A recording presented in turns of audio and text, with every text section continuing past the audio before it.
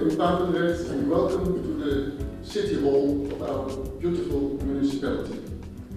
We have hosted the Korfball European Cup three times in the past, in 1985, in 1990 and in the year 2000.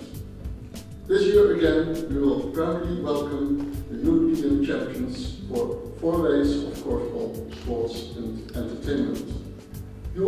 all ambassadors of a wonderful sport. I hope and expect that the tournament will contribute to the promoting of your great sport. And I also hope you will become an ambassador of Papendrecht for when you return to your homeland and hometown.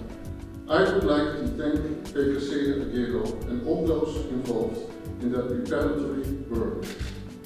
I, all, I would also like to thank the players, the coaches, staff and everyone else for coming. I wish you the best of luck on behalf of the City Council, on behalf of the Alderman of Sports, Mr. Koppelo, on behalf of myself, for instance.